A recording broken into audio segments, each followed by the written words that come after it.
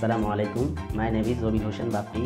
I have barista six month experience. I know how to make espresso, americano, latte, cappuccino, mocha, hot chocolate, Spanish latte, ice coffee, mocktail, V60.